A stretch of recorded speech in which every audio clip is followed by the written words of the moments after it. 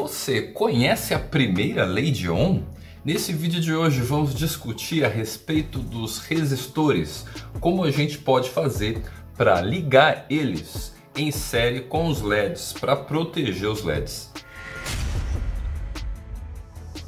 Esses resistores são dispositivos que são utilizados para limitar a passagem de corrente elétrica e é por isso que a gente chama ele de dielétricos.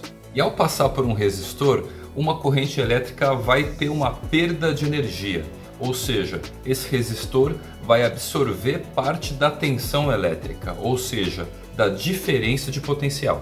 E quando essa energia elétrica é dissipada em forma de calor, a gente chama isso de efeito Joule. E para exemplificar o que eu estou falando, dá uma olhada nessa lâmpada incandescente. Elas possuem um pequeno filamento de tungstênio, que é um metal com alto ponto de fusão.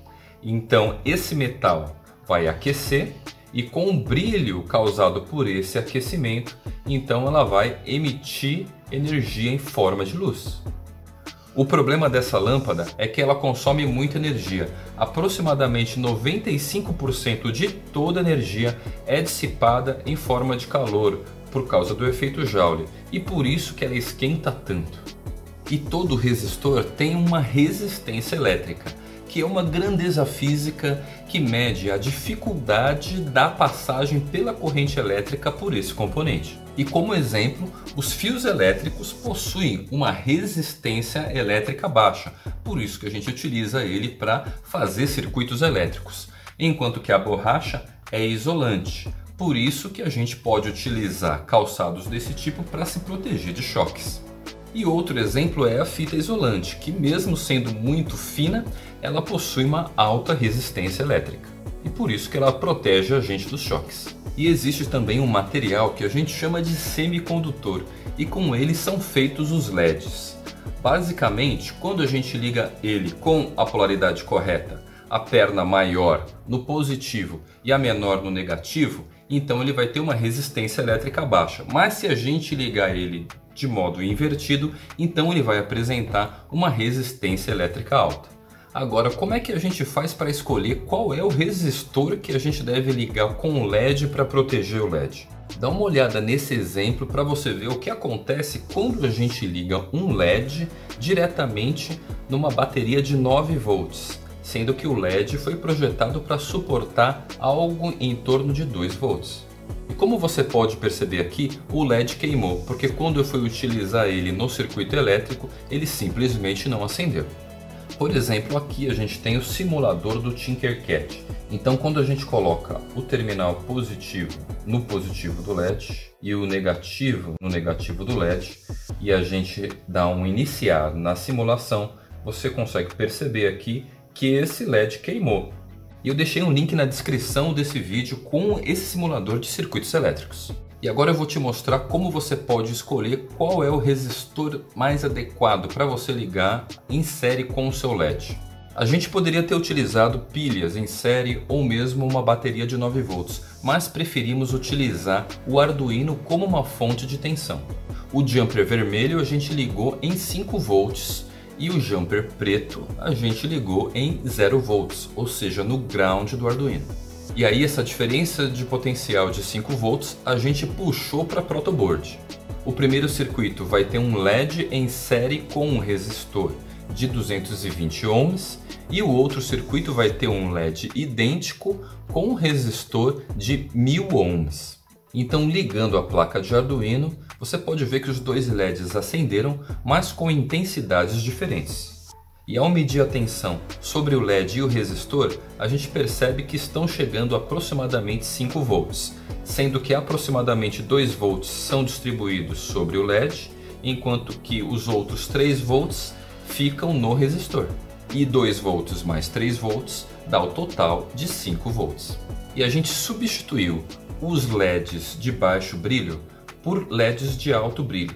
E aqui você pode ver o resultado das tensões que foram medidas no circuito elétrico com o resistor de 220 ohms.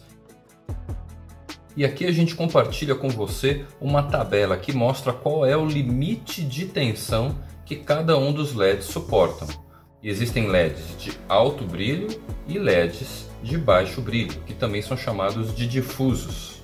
E essa tabela também mostra para a gente um limite de corrente elétrica que eles suportam. E aqui eu vou compartilhar com você uma tabela de cores dos resistores para você conseguir fazer a leitura das faixas. Então, como exemplo, a gente tem aqui um resistor em que as três primeiras faixas são marrom, preto e vermelho, e a última faixa que está deslocada com esse espaço entre as cores para a direita. Então, a primeira cor, sendo marrom, eu vou designar como sendo o valor 1. A segunda faixa, que é preta, eu vou designar como sendo de número 0. A terceira faixa vai ser do multiplicador decimal, então eu vou ter que multiplicar esse número que deu por 100. E isso mostra para gente que 1 com 0 deu 10, multiplicado por 100 vai dar 1000. E é por isso que a gente tem que o valor desse resistor é de 1000 ohms, ou seja, de 1 kΩ. E a quarta faixa não é muito importante, porque ela mostra para a gente qual é a tolerância, qual é a quantidade de erro que essa medida pode ter. E nesse caso, como sendo dourado, a gente pode considerar que essa tolerância é de 5%. Isso quer dizer que ele pode errar de 5% para cima ou 5% para baixo. Então tudo se passa como se o fabricante estivesse dizendo para a gente que esse resistor é de 1000 ohms, mas ele pode apresentar uma variância desde 950 até 1050 ohms. E existem também os resistores com 5 faixas, em que o procedimento é o mesmo, só que ele vai ter uma terceira faixa numérica antes do multiplicador decimal. E se você achou muito complicado utilizar esse código de cores, então nos dias de hoje também existem aplicativos que você pode baixar gratuitamente e a gente vai estar compartilhando com você na descrição desse vídeo. E na descrição do vídeo você também encontra o Tinkercad, em que nele você pode utilizar diversos LEDs e resistores para fazer os seus testes, utilizando baterias, pilhas ou o que você quiser. E a vantagem disso é que você não vai quebrar e nem botar fogo em nada, porque ele é simplesmente um simulador. E como você deve ter percebido, a resistência elétrica tem uma relação direta com a corrente elétrica. Porque se eu estiver utilizando resistores de alta resistência elétrica, naturalmente a corrente elétrica vai ser baixa. E para isso eu vou te mostrar uma equação matemática que relaciona essas três grandezas físicas. A tensão elétrica vai ser simbolizada pela letra U e a gente também chama ela de diferença de potencial. A resistência elétrica vai ser simbolizada pela letra R maiúscula. E para representar a corrente elétrica, a gente vai utilizar o I minúsculo.